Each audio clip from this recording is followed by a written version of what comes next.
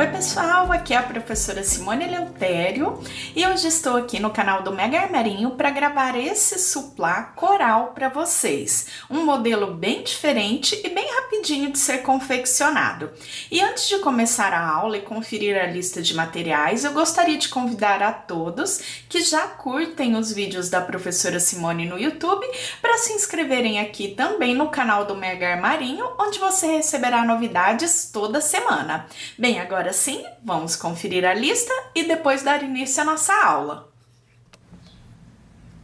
Para trabalhar o suplá, eu vou usar o Barroco Max Color número 4 nessa nova cor, que é a 4004 e agulha para crochê número 2,5. Vou usar a agulha para crochê que vem nesse kit de agulhas em crochê soft, que tem o cabo emborrachado. São agulhas anatômicas, são bem mais macias e dão conforto assim ao nosso trabalho. Parece que o trabalho até rende mais, porque fica tudo muito mais leve, mais fácil de se trabalhar. E todos esses materiais, a coleção completa do Barroco 4, a, o kit de agulha soft com preço super bacana, você encontra na loja Mega Armarinho, que é o seu armarinho virtual. Eu vou deixar para vocês aqui em cima no vídeo o link da loja Mega Armarinho para que você visite a loja e confira todas essas novidades. E para fazer a sua compra é bem fácil, rápido e você recebe aí na sua casa. Agora, Agora que conferimos a lista, vamos dar início à nossa aula. Inicio o suplá fazendo o anel mágico. Deixo o fio que eu não vou usar de frente para mim, dou uma rodadinha completa e passo o fio que eu joguei lá para trás entre os dedos. Agora eu posso soltar e eu tenho aqui o formato da letra O. Onde eu soltei, eu tenho fio, eu seguro e faço três correntinhas. Aqui dentro do anel mágico, eu trabalho mais 23 pontos altos até ficar no total com 24 pontos, onde eu volto fechando a carreira e dando início à próxima. 24 pontos, fecho a carreira com um ponto baixíssimo, faço três correntes, pulo um ponto da base, venho no próximo, prendo um baixo. Três correntes, pulo um ponto da base, venho no próximo, prendo um baixo. E dessa forma eu contorno toda a carreira, ficando ao final da carreira com 12 argolas com três correntinhas cada. Completei as argolas, agora eu caminho com pontos baixíssimos, um, dois baixíssimos, até ficar no centro da primeira argola. Subo três correntes, que eu conto como um ponto, e venho trabalhando. Faço a metade do ponto alto e deixo na agulha. Faço a metade do ponto alto e deixo na agulha Faço a metade do ponto alto e deixo na agulha. Fecho todas de uma vez só, deixando só a última laçadinha. Fecho por completo a última laçada. Faço uma, duas, três, quatro, cinco correntes. Fiz as cinco correntinhas, repito o mesmo processo na próxima argola. Faço metade do ponto alto e deixo na agulha, metade do ponto alto e deixo na agulha, metade do ponto alto e deixo a laçada na agulha, metade do ponto alto e deixo a laçada na agulha. Prendo as quatro laçadas, deixando a última e fecho as duas últimas. Faço as cinco correntes e mais uma vez repito o mesmo processo dentro da argolinha, fechando os quatro pontos juntos. E dessa forma eu circulo toda a carreira.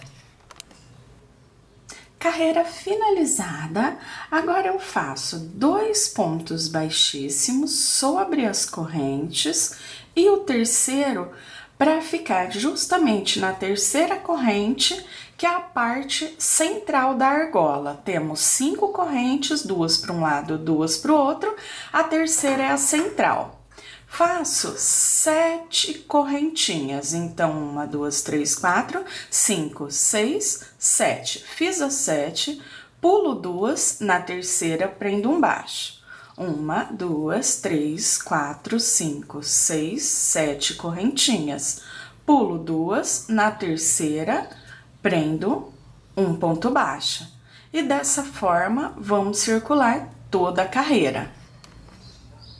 Carreira finalizada, vamos para mais uma carreira de argolas. Agora temos as sete correntes, eu caminho com pontos baixíssimos por três correntinhas e mais um para chegar até a quarta corrente, que é a corrente central. Faço nove correntes, uma, duas, três, quatro, cinco, seis, sete, oito, nove. Pulo as três correntinhas e na quarta prendo um ponto baixo. Mais uma vez, nove correntes, seis, sete, oito, nove pulo as três correntinhas e na quarta prendo um ponto baixo. E dessa forma vamos circular toda a carreira. Parte central do suplá, onde o prato é apoiado, já está prontinha, por isso essa parte vazada que vai dar todo o destaque ao trabalho. Agora, eu caminho com pontos baixíssimos, pulando as três primeiras correntes aqui caminhando até chegar ao terceiro, a terceira correntinha.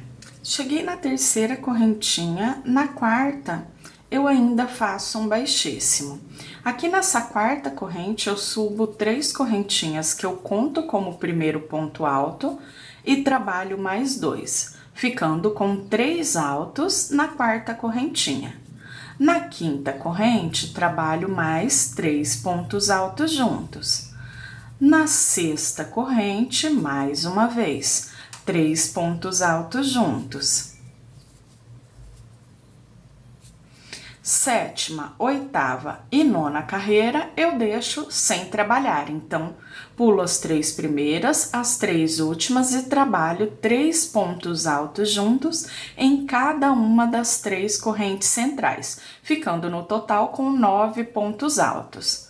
Faço duas correntes de separação, pulo as três primeiras, venho na quarta e inicio o mesmo processo. Quarta corrente, faço três pontos altos juntos, quinta, três pontos altos juntos, sexta, três pontos altos juntos. Pulo as outras correntinhas, faço duas correntes de separação e já venho trabalhando dentro da próxima argola. Carreira finalizada.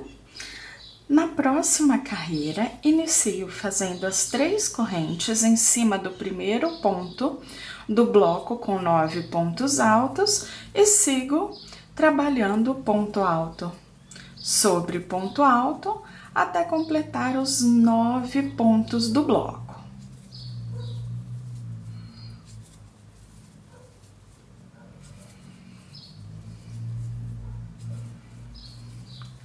Completei os nove pontos. Faço duas correntinhas e mais uma vez trabalho ponto alto sobre ponto alto do bloco, ou seja, vamos manter a mesma contagem da carreira de base, da carreira anterior.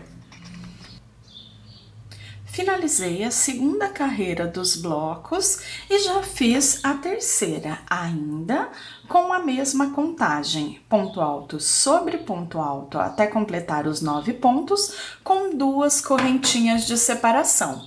Agora já conseguimos ver bem o formato do suplá, olha que modelo bonito e bem diferente.